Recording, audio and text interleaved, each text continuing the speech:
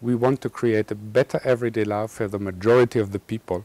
And then we know the majority of the people means to side with the many people who have less resources when it comes to money, space, time, and then we know that the majority of, the people are families with children, most of them. So we would like to side for the many people. This is an inspiring vision. This is the first key success.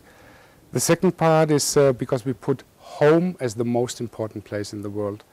And then we say we decided in our business idea we would like to offer a wide range of well-functioned, well-designed products which are affordable for the majority of the people. So we would like to deliver ideas and solutions for a better everyday life at home, which is the most important place in the world for the majority of the people, for affordable prices.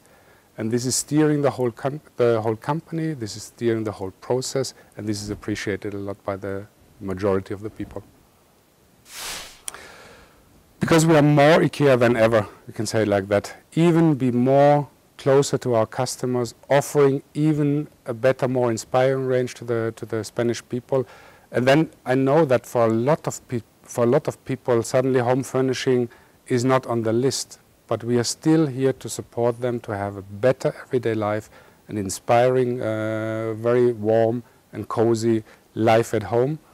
And uh, I think the people appreciate a lot that uh, we have the best value mon for money and the lowest prices in the market. So be more IKEA than ever instead of changing everything. We know that we are losing a lot of, uh, everybody in retail is uh, losing a lot of customers and visitors because they simply cannot afford. This is one part. On the other hand, we are creating a lot of new visitors who were uh, buying their home furnishing products before somewhere else. So we're gaining more new visitors than we are losing visitors.